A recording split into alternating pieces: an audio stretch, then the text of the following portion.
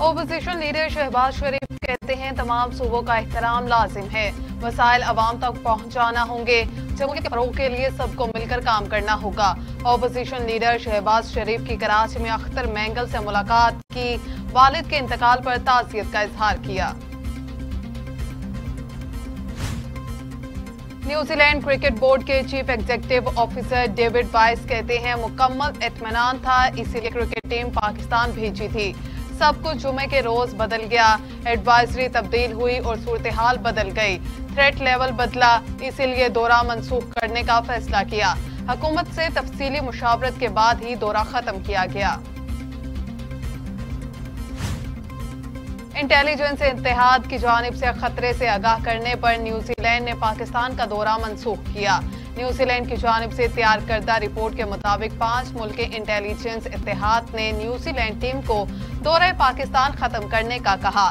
New Zealand, Australia, Canada, America और बरतानिया के इंटेलिजेंस इतिहाद ने खतरे से आगाह किया।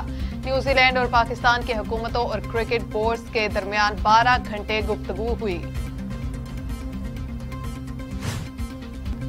दुनिया को हमें एक मौका देना चाहिए। स्विंग के शहनशाह वसीम अकरम का दबंग ऐलान।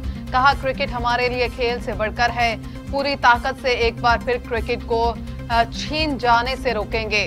दुनिया हमारी सिक्योरिटी फोर्सेस की ताकत का गलत अंदाज़ा लगाती है।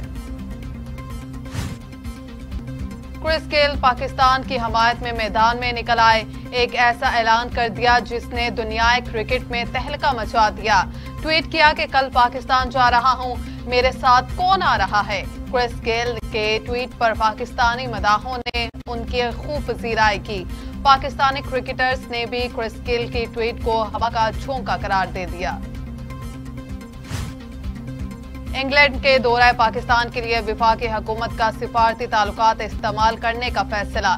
विफाकी हुकूमत की जानब से इंग्लैंड के हम मनसब से रबता किए जाने का इम्कान इंग्लिश टीम का दौरा है पाकिस्तान क्रिकेट के रोशन मुस्तकबिल के लिए अहमियत का हामिल। पीसीबी सीरीज़ के इनका के लिए हर हर बा इस्तेमाल करेगा।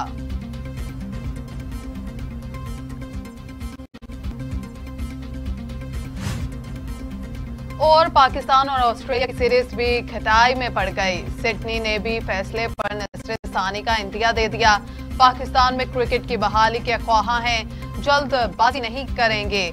मगर मुतल हुकाम और सिक्योरिटी माहरीन की मुशावरत के बाद कोई फैसला करेंगे। ऑस्ट्रेलियन क्रिकेट बोर्ड का ऐलान। ऑस्ट्रेलियन टीम ने अगले साल फरवरी में पाकिस्तान का दौरा करना है।